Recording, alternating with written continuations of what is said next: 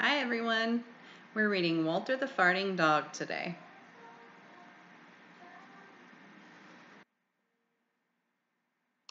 Betty and Billy brought Walter home from the dog pound. Nobody wanted him, but we love him, said Betty. Well, he smells awful, said their mother. I think you'd better give him a bath.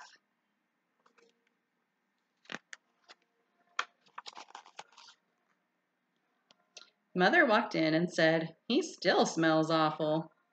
And that's when they got the first clue. The telltale bubbles in the water. He's probably just a little nervous, said Mother. Hopefully. His stomach must be upset. But Walter's stomach wasn't upset. Walter's stomach was fine. He felt perfectly fine. He just farted a lot.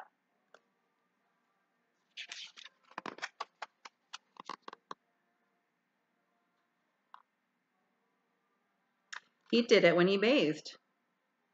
He did it when he played with Betty and Billy. He did it when he walked around the house.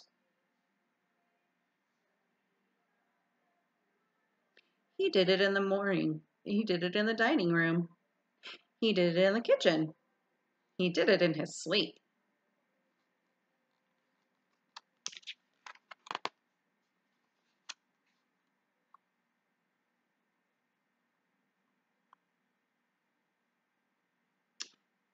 Dog farts morning, noon, and night, said Father. He can't help it, Daddy, said Betty and Billy. They didn't mind Walter's farts. So what if he farts? Billy said to Betty when they were alone in their room with Walter. Betty agreed. Walter agreed too. He sat there looking innocently around, farting. Take him to the vet, said Father.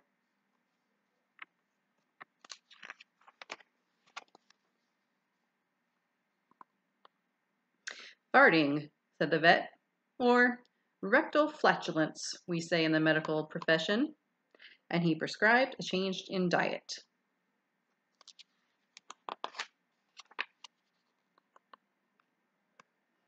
They gave Walter every kind of dog food. He farted. They tried him on cat food. They gave him hot dogs, hamburgers, and lettuce and tomato sandwiches. They gave him fried chicken. They gave him rabbit food. They made him a vegetarian. No matter what that dog eats, he turns it into farts, said Father.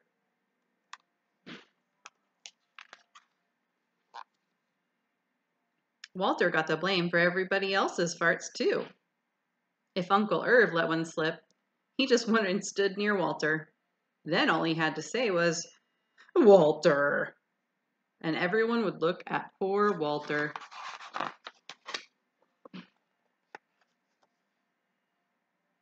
He has to go back to the pound, said Father. No, Daddy, please, begged Betty and Billy. He goes tomorrow, said Father. They pleaded. Walter farted. It was all over. That night, Betty and Billy cried in their beds and Walter looked at them unhappily. Oh, Walter, said Betty, you've got to stop farting. Because father is going to send you back to the pound tomorrow, said Billy.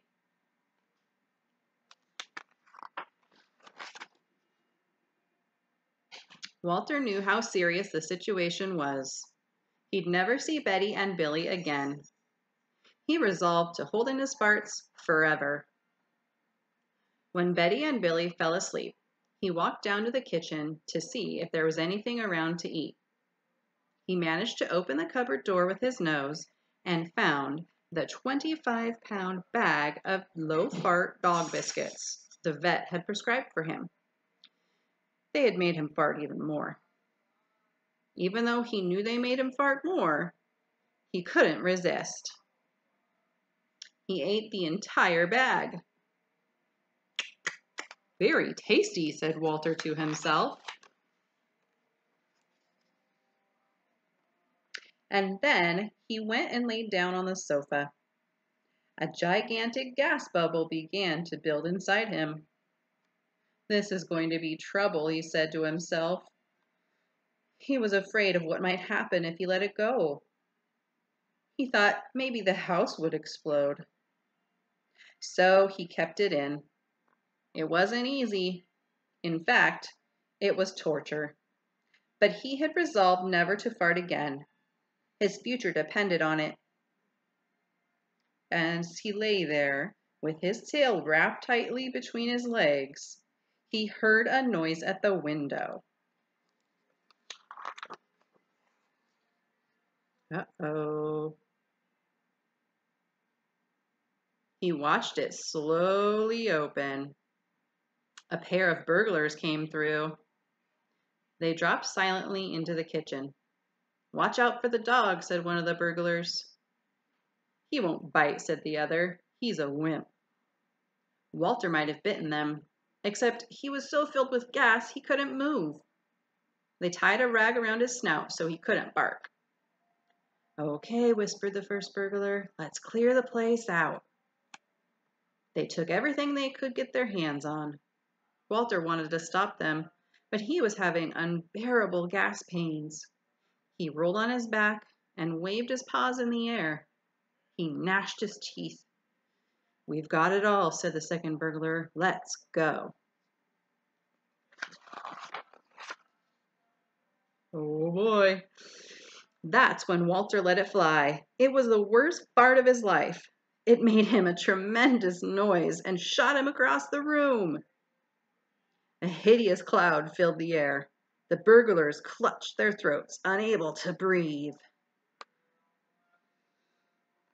With tears in their eyes, they raced for the window. They tried to grab their bag with all the valuables in it, but their arms were too weak. Let's get out of here. they jumped out the window and ran up the block, choking and gasping for air. They were dying from Walter's attack. They stepped into the headlights of an approaching police car. Hold it right there, said the policeman.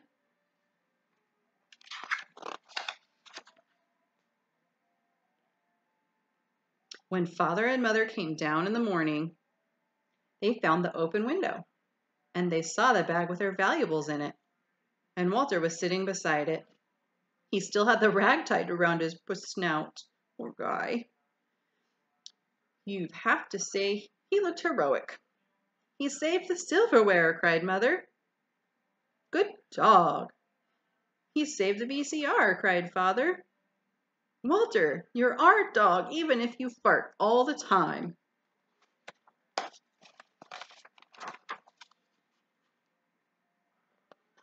And so the family learned to live with Walter, the heroic dog. And that's the end of our tale. Ooh, they must really love Walter. Now there's Walter's Wonder Park, 100% natural gas powered.